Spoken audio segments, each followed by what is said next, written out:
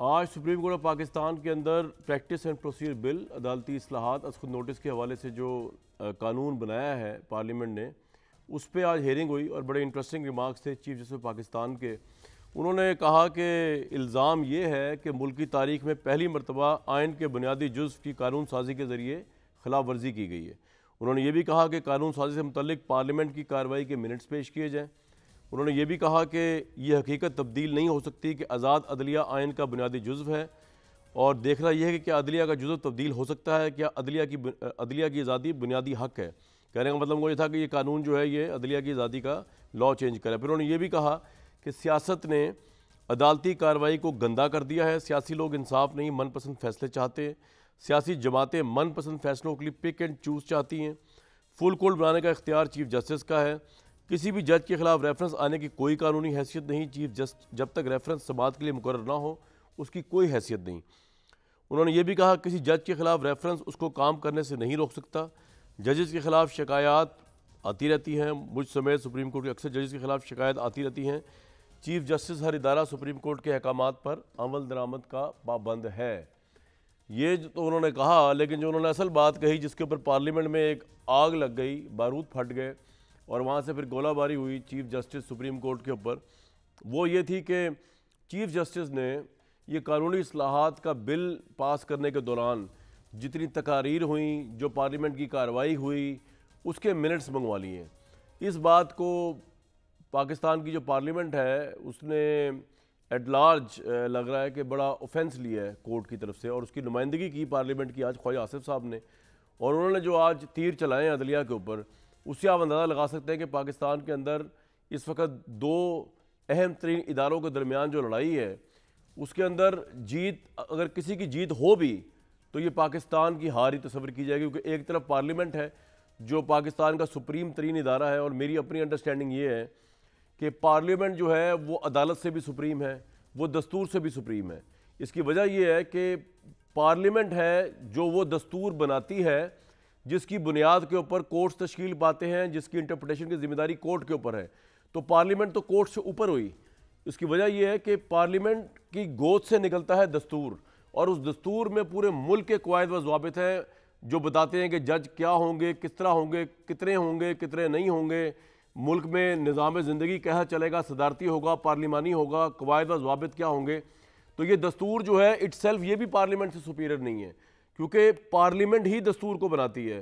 कोई दस्तूर जो है ऊपर आसमान से या ज़मीन से उग नहीं निकल आता, हमारे सामने दस्तूर, जिसको आप दस्तूर कहते हैं या आइन पाकिस्तान कहा जाता है, तिहत्तर की, का दस्तूर जो है वो उस वक्त की पार्लियामेंट ने बनाया था। तो वो पार्लियामेंट दस्तूर से ज़्यादा मुकदस है, जो इस दस्तूर को जन्म देती है। और अदलिया ऑब्वियसली पार्लियामेंट से ऊपर दुनिया में कहीं हो ही नहीं सकती। उसका काम इंटरप्रेट करना लेकिन इस मुल्क के अंदर हमने देखा कि अदालतों ने मुल्क की अदालतों ने जहाँ पॉलिटिशियंस ने गंद किया, जहाँ इस्टेब्लिशमेंट ने गंद किया, वहाँ अदालतों ने जहर घोला है। क्योंकि अदालत का गंद करने का मतलब ये होता है कि इस मुल्क मुल्क से इंसाफ का निज़ाम ही ख़त्म हो जाए।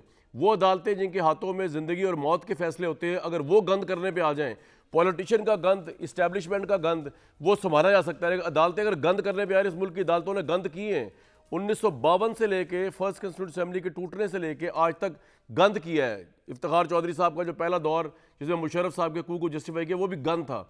तो अगर जजेस गंद करने पे आ जाएँ तो वो तो फिर इस मुल्क में से तबाही फिर जाती है। अब आज़ाद अदलिया आई हुई है पाकिस्तान में, और उसको इस वक्त पार्लियामेंट हिट कर रही है, और पार्लियामेंट समझती है कि अदलिया उनको हिट करी। तो ये सिचुएशन पाकिस्तान के लिए किसी भी लिहाज से अच्छी नहीं है। कैसे मुल्क के लिए, जिसके मतलब आज ब्लूमबर्ग की रिपोर्ट पेश कर रहा हो कि Pakistan inflation outpaces Sri Lanka is Asia fastest यानी कि पाकिस्तान इस वक्त सबसे ऊपर चला गया एशिया में, जहाँ महँगाई है, बेरोज़गारी है, जहाँ पे इन्फ्लेशन है, जहाँ लोग मर रहे हैं भूख से। और जो सर्वेज आ रहे हैं, उसके हिसाब से भी इक्यानवे परसेंट पाकिस्तानी जो हैं, वो स्ट्रेस का शिकार हैं इन्फ्लेशन महँगाई और जो इकॉनमी संभल नहीं पा रही मौजूदा पी डी एम गवर्नमेंट से। तो इस सारी सूरत हाल के अंदर अदालत का और जजेस का टकराव आपस में, सुप्रीम कोर्ट का चीफ जस्टिस का किसी भी लिहाज से मुल्क के हक में नहीं है। लेकिन फिर भी आप सुन लें, ख्वाजा आसिफ साहब ने आज क्या जलगार की अदलिया के, सिर्फ़ ये कहने के ऊपर कि जी अदालत के वो असम्बली के वो मिनट्स दिए जाएँ, जिसके अंदर ये प्रैक्टिस एंड प्रोसीजर बिल जो है, इसका फैसला हुआ पास किया गया। बहुत वॉम वेलकम उस्मान डार साहब, आबिद शेर अली साहब, आमिर इलियास राना साहब। आबिद शेर अली साहब, मैं being a student of politics and history believe करता हूँ कि पार्लियामेंट किसी भी मुल्क का सुप्रीम तरीन इदारा होता है, क्योंकि उसकी कोक से कंस्टिट्यूशन जन्म लेता है, जिसके बाद ये अदालती सिस्टम ये पार्लियामानी सिस्टम सब। लेकिन क्या पार्लियामेंट को ये इख्तियार भी है कि वो इस तरह का खुलेआम ऐलान जंग कर दे आला अदलिया के ख़िलाफ़ और ग्राउंड्स क्या हैं जो इतना ज़्यादा आप नाराज़ हो गए हैं अदालतों से? ये फोर थ्री टू थ्री के फैसले के अलावा भी कोई ग्राउंड है? कोई क्या ग्रीवियंस है आपको मौजूदा सुप्रीम कोर्ट से जो पार्लियामेंट बिल्कुल ही इस हद तक चली गई है कि लग रहा है कि सिस्टम ही कोलाइड ना कर जाए और कोलैप्स ना कर जाए? देखें कामरान शाह साहब, हमें कोई मसला नहीं है। ये बात यहाँ पे जजेस की नहीं हो रही, करदारों की हो रही है। वो उन करदारों में साकिब नसार भी एक करदार था। उन करदारों में अजमत सईद भी एक करदार था। उन करदारों में सईद आसफ खोसे जैसे घनौने करदार भी नहीं हैं जिन्होंने जिन्होंने पाकिस्तान का बेड़ा गर्क किया। बात अदारे की नहीं है। अगर आपने, अगर दो घरों की बात करें अब जो ऑडियो लीक्स आ रही है। सास के कहने पर फैसले किए जा रहे हैं। सास के कहने पर डेट फिक्स की जा रही है सास ही बताती है कि जी कौन सा फैसला कब देना है। तो ये कामरान साहब ये ये जंग अदारों की नहीं है। मैं आपको फिर बता रहा हूँ। जी। सुप्रीम कोर्ट पाकिस्तान का एक मुकदस सवान है अदारा है जिस पर पाकिस्तान की उम्मीदें हैं। कुछ करदारों ने उस उस अदारे को बदनाम किया। मैंने आपको तीन काली भेड़ियों के नाम बताए साकिब नसार और उसका बेटा टिकटें बेच रहा है पीटीआई की। वो अभी साबित तो नहीं हुआ भाई कि वो टिकटें बेच रहा है अभी तो इल्ज़ाम है मुबैना ऑडियो है। इल्ज़ाम नहीं है उसके बाप ने जो नजम का बाप है उसने इकरार किया है साकिब निसार ने कि जी ये मेरे बेटे की आवाज़ है। ये मेरे बेटे ही की आवाज़ है। मुझे बताएँ कि कामरान भाई एक सियासतदान तो अपने ऊपर इल्ज़ाम ले सकता है। हम लोगों को ये हमारे पर हमें सिसलियन माफिया कह दें इनके जो मुँह में आए ये कह दें हम बात करें तो तोहन अदालत लगती है और हमें पाँच साल के लिए डिस्कवालीफाई कर दिया जाता है। हम कोई ऐसी तोहन करें ये कौन सी ऐसी तोहन है? क्या हम आप आप माशाल्लाह बड़े जी शूर आदमी हैं क्या मुझे बताएँ कि क्या जो यूएसए की कांग्रेस है वो जजेस को नहीं बुलाती? वो इनके मुआवजे नहीं करती? वो हाउस कमेटी कितनी उनकी एम्पावर्ड है कि वो हर तो काम तो आबिद भाई अब आप जजों को बुलाना चाह रहे हैं स्टैंडिंग कमेटी में उनकी हाजिरी लगवाना चाह रहे हैं सर थोड़ा क्लियर करें क्या पॉलिसी पीडीएम की? देखें मैं आपका इंट्रो बड़े गौर से सुन रहा था कामरान साहब माशाल्लाह आप लॉ के भी स्टूडेंट हैं आप बड़े शानदार आदमी हैं मुझे बताएँ कि ये जो भी आपने कहा कि जो मुझे चीफ जस्टिस साहब के रिमार्क्स बताए क्या जब काजी फाइजा साहब के ऊपर रेफरेंस दायर किया गया जब उनको काम करने से रोका गया जब उनकी वाइफ को आपने दिन दिहाड़े आपने वहाँ पर उनकी अदालतें लगाई तो वो किसी माँ बहन की वो किसी की माँ या बेटी या बहन नहीं है।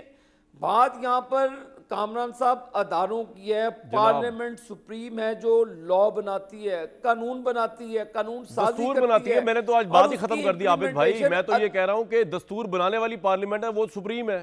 ये मेरा एनालिसिस है ये मेरा थीसिस है इस पे। बिल्कुल इस पे कोई दो बात नहीं है। इसमें मैं फिर आपको बता रहा हूँ अदारों की लड़ाई नहीं है। एक तरफ़ पार्लियामान खड़ी है और दूसरी पर चंद अफराद हैं चले मैं इस प्रोग्राम में कोशिश करता हूँ इस लड़ाई से किस तरह बाहर निकला जाए। एक सेकंड। जी। शाह साहब जी जी सर बताएँ एक मैं आपको और दरख्वास्त करूँगा। आप इन तमाम लीग्स का फ्रांसिक करवाने चाहिए हाँ, और ठीक है वो तो आपने कराने भाई। पानी हो जाए जो फिर जिम्मेदार बिल्कुल ठीक है आपका पॉइंट आ गया। उन करदारों को बेनकाब करना बिल्कुल आपका पॉइंट आ गया। उस्मान भाई, बात यह है कि ये सारा मामला जो है ना, इसमें कुछ ज़िम्मेदारी आपकी भी है। ऑब्वियसली आपने जब से हुकूमत संभाली, आपने अपोजिशन को या सियासतदानों के साथ किसी मसले को डील करने को अपनी जैसे कहते हैं अपनी शान के मुताबिक नहीं समझा। आपने आर्मी चीफ से ब्रीफिंग दिलवाई इनको। आपने D G I S I के उस ज़माने की ब्रीफिंग दिलवाई। आप अभी भी, पहला काम आपने ये किया, इकतदार से उतरते कि आपने कहा कि बाजवा साहब डील करा दें, क्योंकि वो अनइलेक्टेड है, उनके पास अथॉरिटी नहीं है। फिर आपने अदालत के ज़रिए जो है, अदालत को मजबूर कर दिया। इस हद तक कि बंदयाल साहब अब जो है, वो मुजाकर हालाँकि दुनिया की कोई सुप्रीम कोर्ट, दुनिया की कोई अदालत इस तरह के गंद में नहीं पड़ती कि जी वो कहे, जी, तमाम पार्टियाँ आपस में बैठ के मुजाकर कर लें तो फिर हम फैसला करेंगे, निकलेंगे इसमें से। तो आपकी अपनी भी तो कुछ ज़िम्मेदारी है ना कि आप अपने मुखालिफ को मुखालिफ को इंसान समझने को तैयार नहीं है। आप उनके साथ बैठने को तैयार नहीं है। आप उसको पोलिटिकल रियलिटी मानने को तैयार नहीं है।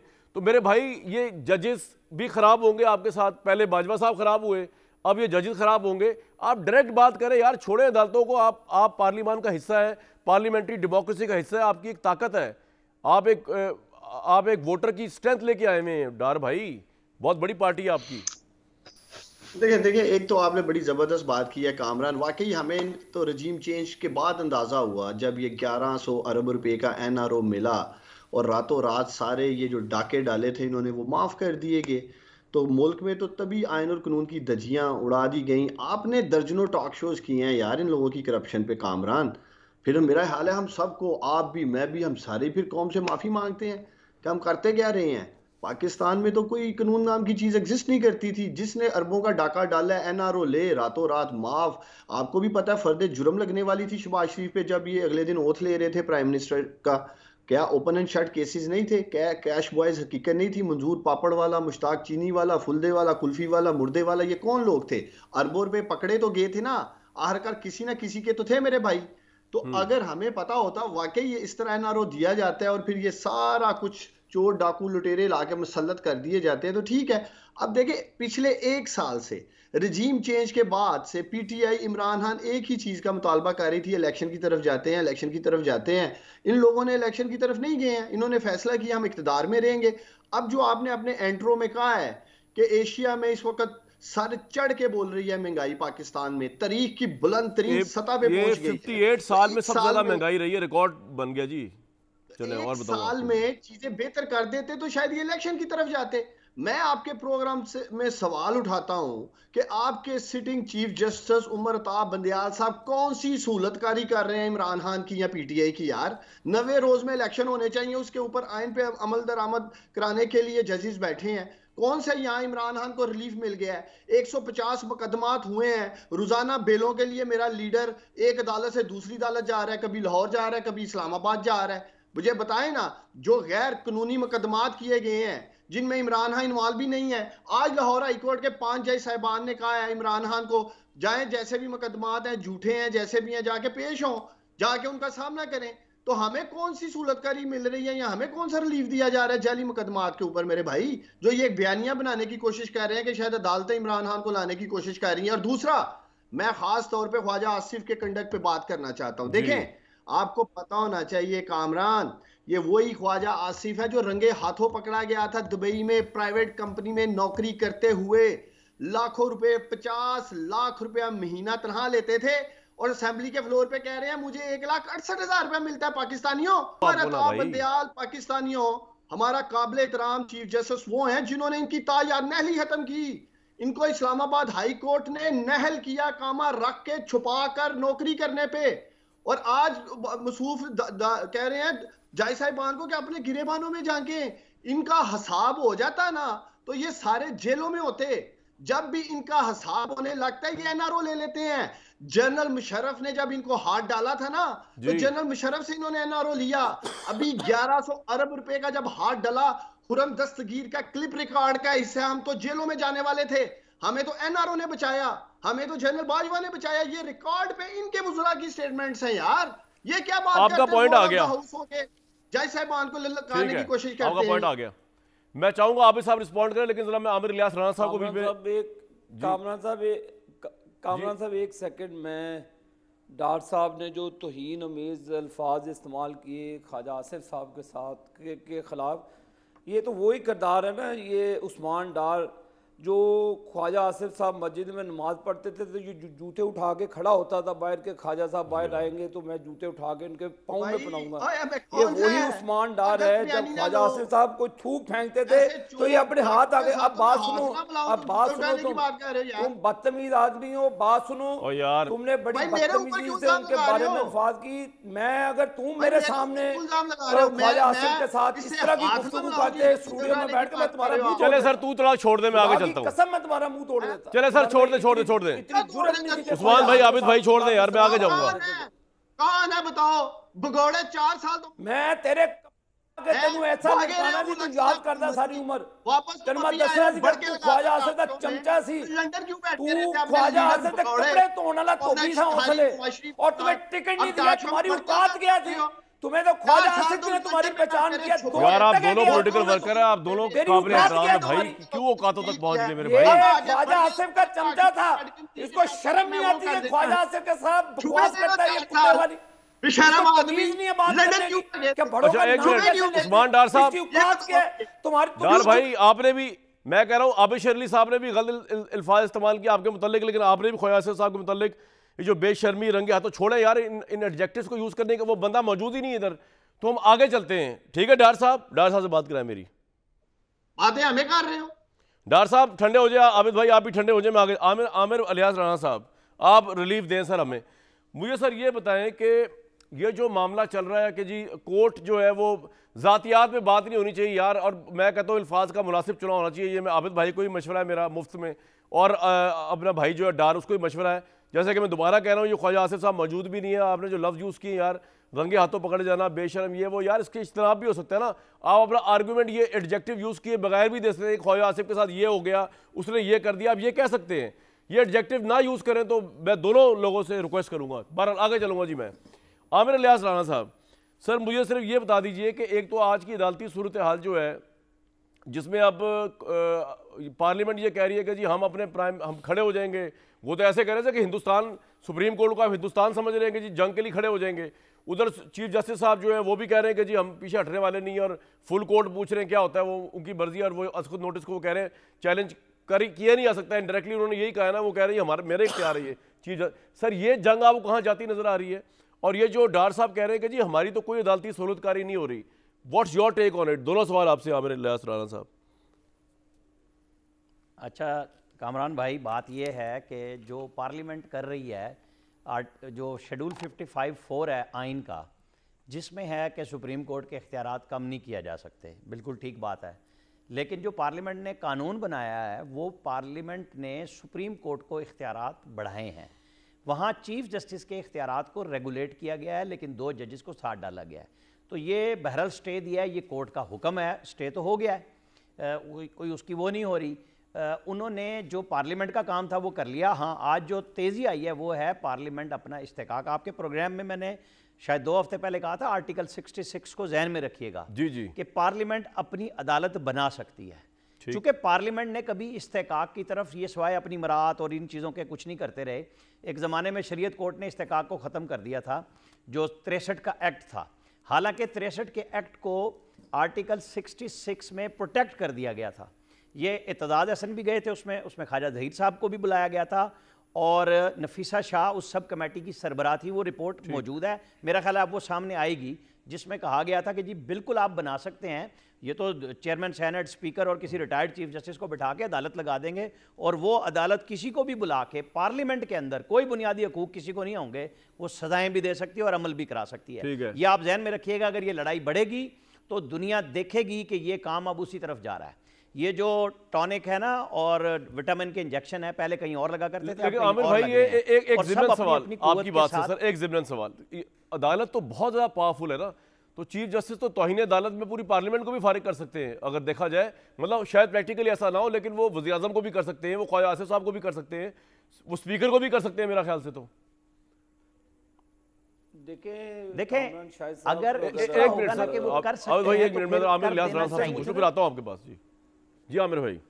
देखे ना, आप करना चाहते हैं, पूरी पार्लियामेंट को अगर आप ख़त्म करना चाहते हैं कि आप इस्तेकाक में तो फिर आप कीजिए। फिर आप रुके नहीं ना। फिर ये कहीं ना कहीं तो मंतकी अंजाम होगा इस लड़ाई का, जिसके अंदर इख्तियार को रेगुलेट देखे ना, जब सुप्रीम कोर्ट का एक आर्टिकल है कि आपने सुप्रीम कोर्ट होगी, उसको आइन के तहत, कानून के तहत रूल्स के तहत चलेंगे। जो रूल्स हैं सुप्रीम कोर्ट के, वो जयाउल के बनाए हुए उन्नीस सौ अस्सी के हैं। उसके ऊपर अगर आप पार्लियामेंट एक एक्ट बना रही है तो कोई बुरी बात नहीं है। जी, जी। तो जहाँ तक आपने दूसरी बात की थी सहूलतकारी की। देखिए सहूलतकारी का ये जो आज अभी हमारे मोहतरम डार साहब कह रहे थे 1100 अरब रुपए का फवाद चौधरी साहब ने भी की। मैं सिर्फ़ एक बात बताऊँ इन्हें कहें कि फौरी तौर पे सुप्रीम कोर्ट से आर- जो नया कानून है उसको कलदम करार दे दें। ये नब्बे नब्बे दिन के लिए सारे जो पीएमएलएन और पीपल्स पार्टी ने भुगता है पीडीएम ने ये सारे रिमांड में जाएँगे। यहाँ रिमांड एक एक दिन का हो रहा है। यहाँ पे दूसरे दिन जुडिशल से जमानत हो जाती है यहाँ। वहाँ दो दो तीन तीन साल जमानतें नहीं होती थी नैब के ओरिजिनल लॉ में। अब तो अगर नैब में कोई पकड़ा भी गया तो चौदह दिन का रिमांड है सिर्फ़। और फिर जमानत हो जानी है। ये शुक्र पड़े कि चीफ जस्टिस ने अभी तक कोई फैसला नहीं किया। ये ग्यारह सौ अरब रुपए का। मैं तो कहता हूँ कि इमरान खान साहब ने अपने पौने चार साल में क्यों नहीं किए फैसले? ये इनके ऊपर इल्ज़ाम आएगा जब इमरान खान साहब का DG F I A Bashir Memon कहता था कि जनाब वो शहजाद अकबर के, के कहने पे सरतापा चेयरमैन नैब सारे फैसले कर रहा था। दिन रात पकड़ के उठाया जा रहा था लोगों को पूछता कोई नहीं था तो सहूलतकारी तो मौजूद है। अवेलेबिलिटी है कि जितनी मानते सहूलत इनको मिल रही हैं। एक बंदा भी अरेस्ट नहीं होता कोई एक आधा दो दो तीन दिन हुआ नहीं होने चाहिए इंसानी हकूक की खिलाफ वर्जी किसी की भी नहीं होनी चाहिए। किसी दौर में भी नहीं होनी चाहिए लेकिन अगर आप मवाजना करेंगे तो बड़ा फ़र्क है और वो सामने है। सर पॉइंट आ गया। आबिद भाई मुझे एक बात बताएँ कि इमरान खान के ऊपर अब सियासी विक्टिमाइजेशन नहीं हो रही उनकी और उनकी पार्टी के ऊपर।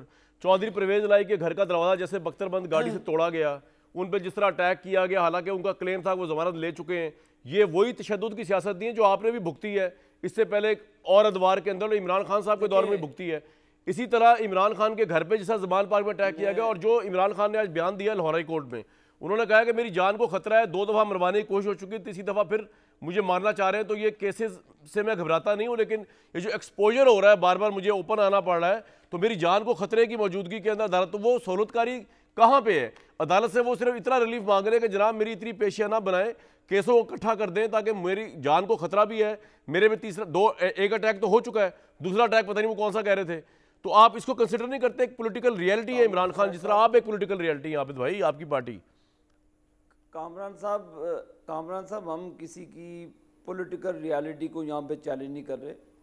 नवाज़ शरीफ साहब के साथ क्या जुल्म नहीं किया गया? उनकी बेटी को अगर अडयाला जेल में उनके सामने हथकड़ी लगाई जाती है कलसूम नवाज़ साहिबा की बीमारी पर मज़ाक उड़ाया जाता है। अब तो ये खुद बाल्टियाँ पहन कर जाते हैं ना माशाल्लाह अदालतों में। तो उस वक्त तो ये नवाज़ शरीफ से ये कहते जी बुलेट प्रूफ गाड़ियाँ भी ले लें वजारत वज़ी अजम बनने के बाद उनकी सिक्योरिटी भी उन्होंने वापस ले ली। उस वक्त भी कहा गया था कि लेकिन ये मुकाफात अमल है, इनको भुगतना पड़ रहा है। मेरे भाई, जो 300 अरब इमरान न्याजी ने जो कर्जे दिए बिलासूद कारोबारी अफराद को कामरान शायद यहाँ पे गरीब लोगों के पास खाने के लिए रोटी नहीं है। जी। शहनशाह आलम पाकिस्तान ने इमरान न्याजी ने 300 अरब रुपए के कर्जे दे दिए बिला सूद। ये अभी जो मुझे डॉक्टर साहब कह रहे हैं जी 150 मुकदमे हुए हैं ज़रा कामरान साहब प्लीज़ इन्हें के झूठ ना बोलें। शैतान तो खुल गया रोज़ों के बाद वाकई खुल गया। वो 150 मुकदमात की डिटेल पब्लिक कर दें। ये पाँच मुकदमे भी नहीं होंगे इमरान खान के खिलाफ जो ये कर रहे हैं लेकिन एक मेरा कानूनी सवाल मैं आपसे भी कामरान साहब करना जनाब। क्या उस वक्त के जो फ़िरौन चीफ जस्टिस था साकिब निसार जो वज़ीर अजम नवाज़ शरीफ थे उसके बाद शायक हकान बने उसने उसने जजमेंट दी कि वज़ीर आज़म अकेला फैसला नहीं कर सकता? वज़ीर आज़म कौन होता है अकेला फैसला करने के लिए? उसे कैबिनेट की मंजूरी की ज़रूरत है। जी। वही चीज़ जो अभी मेरे भाई आमिर साहब ने की कि रेगुलर उसको रेगुलेट करने हैं जजेस के करदार को उनकी पावर को। अगर आप वज़ीर आज़म का इख्तियार बैठे घर हमें कह रहे कि वज़ीर आज़म के पास इख्तियार नहीं उसकी कैबिनेट के पास इख्तियार है। सुप्रीम कोर्ट का मतलब है तमाम सुप्रीम कोर्ट के ऑनरेबल मुआज जज साहबान। ये कहाँ पे लिखा हुआ है कि सुप्रीम कोर्ट सिर्फ़ एक चीफ जस्टिस के इर्द गिर्द घूमती है? ये कहीं भी नहीं कानूनी तौर पे लिखा। लिहाजा मैं आपसे कहता हूँ कि जिस तरह आपने कदगल लगाई कि पार्लिमान वज़ीर आज़म जो अकेले फैसले नहीं कर सकता इसी तरह मोहतरम जनाब शाहिद शाहिद साहब एक एक हमने कहा जी एक नहीं जो तीन सीनियर मोस्ट जजेस है ठीक है ये आपका पॉइंट आ गया। ब्रेक के बाद मैं चाहूँगा डॉक्टर साहब रिस्पॉन्ड करें। लेकिन मैं जाते जाते एक बात बता दूँ आबिद भाई अब आप भुगते हैं। ये जो है ना, ये अता बंदयाल साहब का कसूर नहीं है। ये जो आप बता रहे हैं ना कि supreme court is all about supreme court not all not about one chief justice ये मेरे भाई, वो जिसके लिए आपने आज़ाद अदलिया की तहरीक चलाई थी, वो हमारे शानदार चीफ जस्टिस इफ्तार चौधरी साहब। ये उनके ज़माने में सारे रूल्स एंड रेगुलेशन प्रेसिडेंट बने। उस वक्त तो पूरी पी एम एल एन जो उनके गुण गा रही थी, उनके लिए लॉन्ग मार्च किया था। आपको समझा रहे थे कि भाई ये यहाँ से कोई दूध और शहद की इंसाफ की लहरें नहीं बहरी लेकिन आपने सुना नहीं उस वक्त पोलिटिकली आपको सूट। तो ये अता बंदयाल साहब का कसूर नहीं है मेरे भाई। ये इफ्तार चौधरी साहब ने किया हुआ है, ये भी कर लो, वो भी इख्तियार ले लो, वो भी पावर ले लो। ब्रेक के बाद आते हैं जी।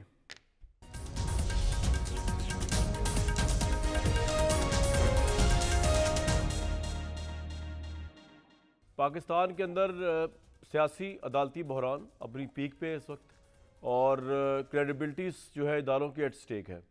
उस्मान डार साहब, इस वक्त जो आपके मुजाकर हैं, मैं कल इमरान खान साहब की स्पीच सुन रहा था, लिबर्टी में जो उन्होंने रैली निकाली हुई थी, वो ये कह रहे थे, अगर 14 मई से पहले असम्बलियाँ ना टूटी तो हम या तो बात नहीं कोई मानेंगे, या मुजाकरात पर नहीं आएँगे, या पता नहीं क्या हो जाएगा। चौदह मई से पहले तो कौमी असम्बली टूटती सर नज़र नहीं आ रही। चौदह मई तक पंजाब के इलेक्शन भी होते नज़र नहीं आ रहे। अगर ये सब कुछ नहीं हुआ तो आपने तो बड़ा एक फाइनल पोजीशन ले ली हुई है। तो मुजाकरात किस चीज़ के हो रहे हैं फिर? या ये सिर्फ़ प्रेशर टैक्टिक है? मुजाकरात में आप फ्लेक्सिबिलिटी दिखा सकते हैं कि जी बजट पेश करने के बाद जिस तरह हुकूमत कह रही है हम असम्बली शायद तोड़ दें आप उस हद तक लेटिट्यूड दिखा सकते हैं लिवरेज जो है। देखिए कामरान आज मुजाकर का आखिरी दौर है और मेरा ज़्यादा ख्याल है कि आज के बाद मुजाकरात नहीं होंगे जो भी होना है आज आपके प्रोग्राम के शायद आधे घंटे के बाद मुजाकर शुरू हो जाएँगे या हो सकते शुरू हो चुके हों। तो ये आज आखिरी इनके साथ राउंड है दौर है जो भी मुजाकरात के हवाले से बात है क्योंकि सुप्रीम कोर्ट ऑफ़ पाकिस्तान की डायरेक्शन थी कि आप लोग बैठ के कोई एक चीज़ एक डेट तय कर लेकिन सर चौदह मई को तो इलेक्शन प्रैक्टिकली हो ही नहीं सकता ना सर।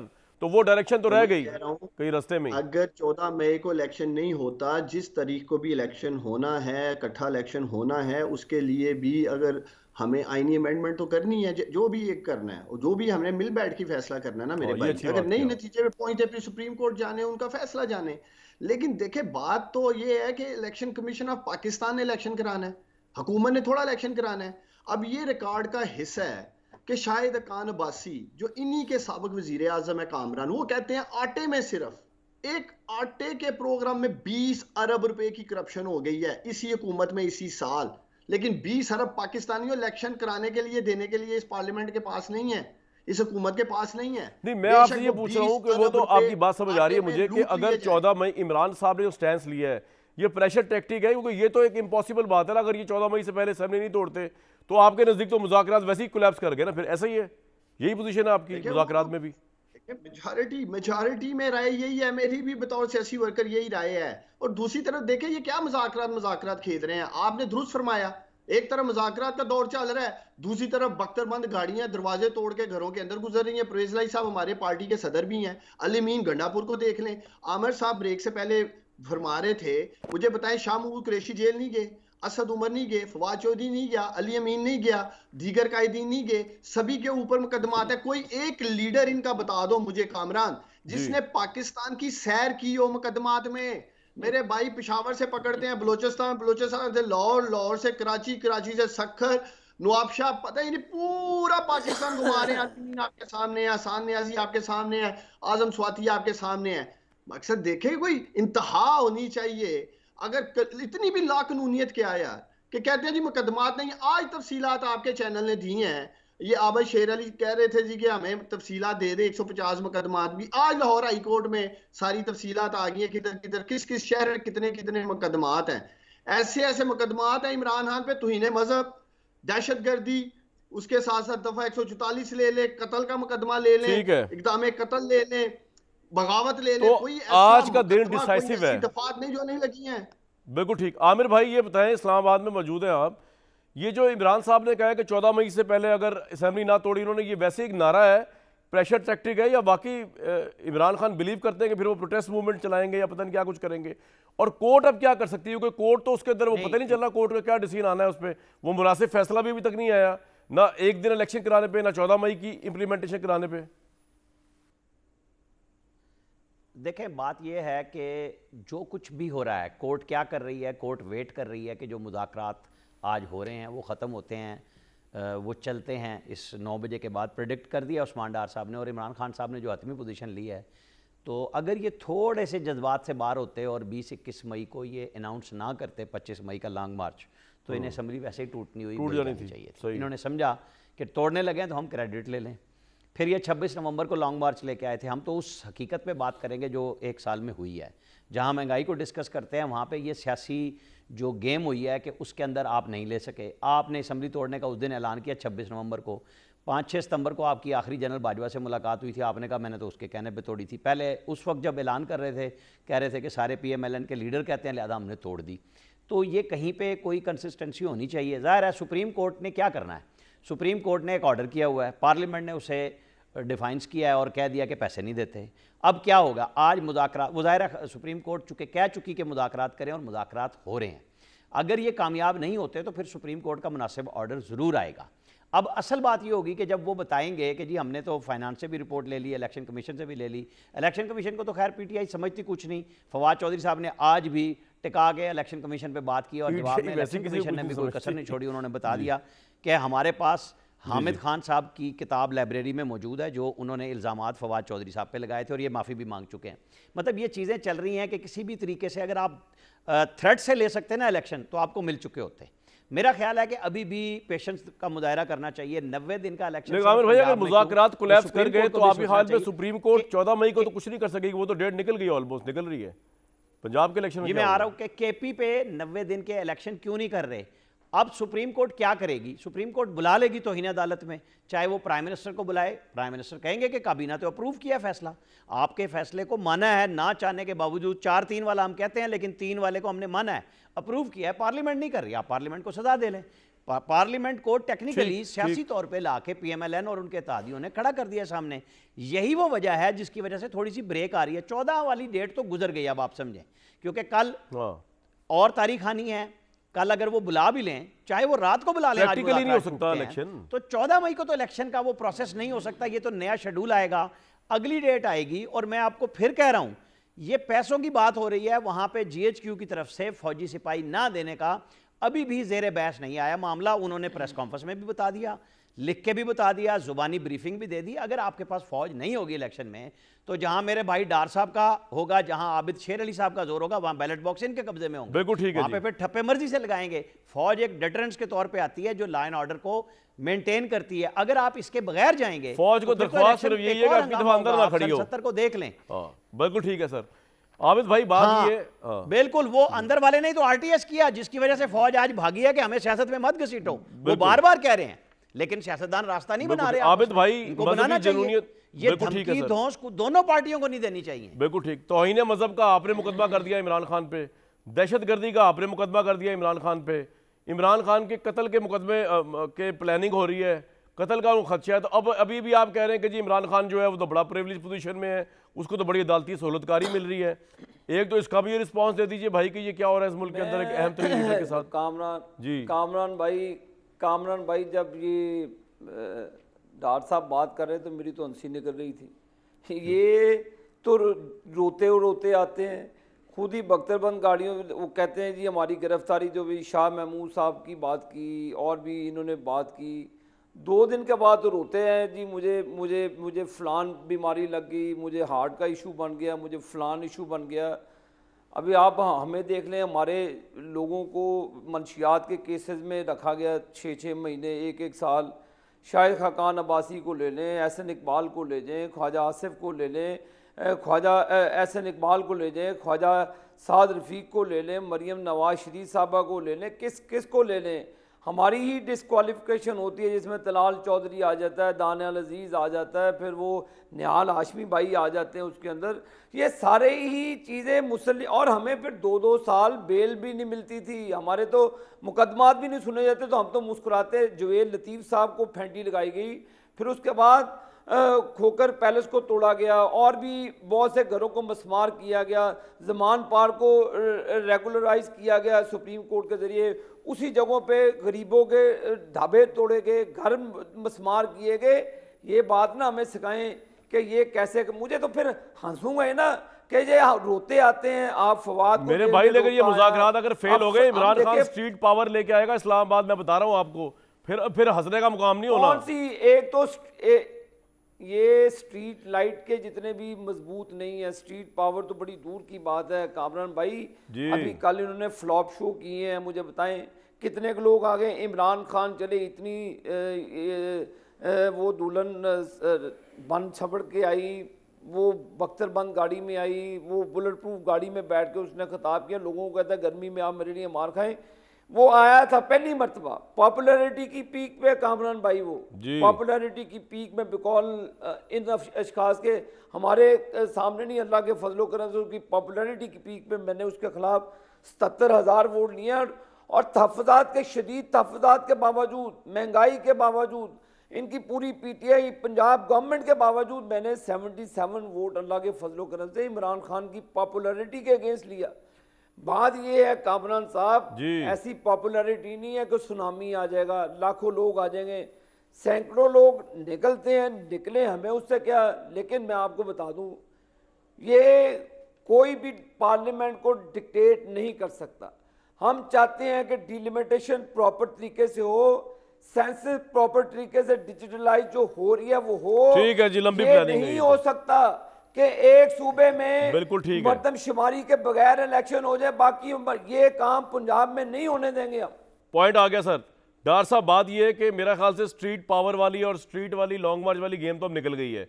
अब तो जो मुल्क के हालात हैं कोई निकलने को तैयार नहीं है ये नहीं कि आपकी पॉपुलैरिटी खत्म हो गई होगी लेकिन ये प्रोटेस्ट वगैरह तो भाई बात ये है कि ये मुजाकरात जो आज चलने वाले हैं अभी नौ बजे उनमें से कोई नतीजा निकाल लें कोर्ट को फिर ना फंसाएँ इसके अंदर के कोर्ट को कोई मुश्किल फैसला करना पड़े ताकि वहाँ से फिर तीर चले हुकूमत की तरफ़ से।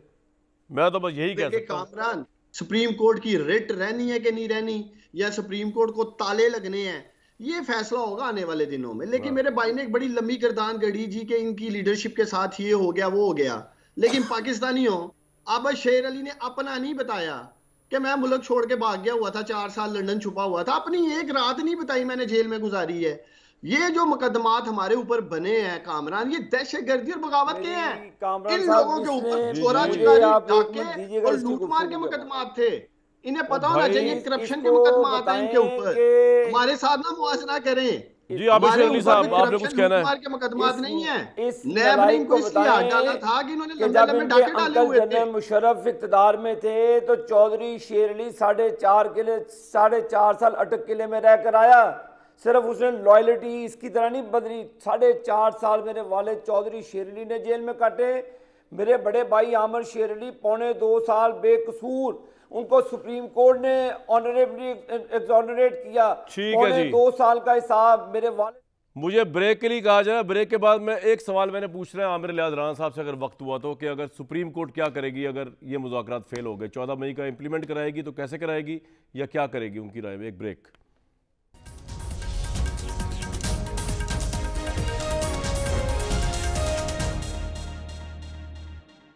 आमिर साहब अगर ये मुजाकरात फेल होते हैं तो सुप्रीम कोर्ट कितनी बड़ी मुश्किल में होगी उलझन में होगी चौदह मई के इलेक्शन को लेके? फैसले को लेके। उलझन नहीं उन्हें अपने ऑर्डर पे अमल दरामद कराना होगा। कैसे कराना होगा? अ, या तो वो रास्ता देंगे चूँकि केपी के इलेक्शन नहीं हो रहे पैसे नहीं मिल रहे और उनको पता है उन्होंने बताया कि हमें ये आप हकीकत पहले नहीं बता सकते थे जबकि बताया गया कि सेक्रेटरी डिफेंस ने आपको सारी बातें बताई थी कि सिपाही नहीं है अवेलेबल तो यहीं से वो रास्ता निकलेगा। अगर लड़ाई होगी तो मेरा ख्याल है कि फिर वही अंजाम होगा कि फिर किसी का कुछ नहीं बचेगा। कल तक और चल जाएगा। बहुत शुक्रिया जी आप तीनों हजरात का। कल तक चल जाएगा पता भी नौ बजे के मुजाकरात के बाद अगर आज मुजाकरात का फाइनल दौर है फेल होते हैं तो सुप्रीम कोर्ट फिर क्या मुनासिब फैसला देती है मुझे दीजिए कल तक इजाज़त।